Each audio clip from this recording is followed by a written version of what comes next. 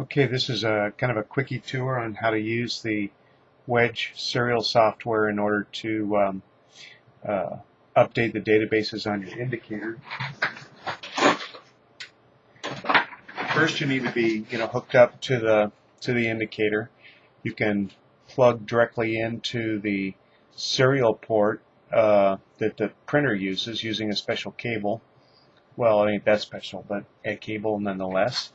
And then what you would do is you'd go ahead and hit this button right here, which uh, will then bring up the, uh, it'll show where the indicator is and what COM port it's on.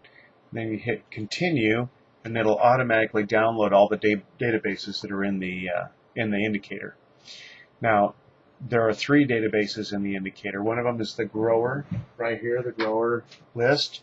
And the first column is the grower number and then the grower name, and then the address 1, address 2, and city, state, zip here. Now you can add rows. You could add a third row by hand and do that, but if you have a lot of them, that might take a long time.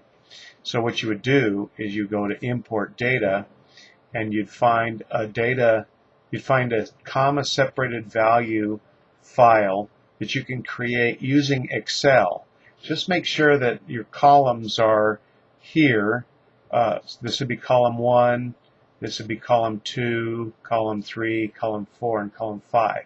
Only use five columns and then save them you know, in order and you can have your whole list, save them in Excel as a CSV file. Then you'll be able to open it with Wedge and then just hit the upload and it'll automatically upload that data to the uh, to the indicator. So now I've just uploaded a third one that doesn't have anything in it. The same can be done with variety, where you have all your varieties, and with your Weighmaster uh, stuff.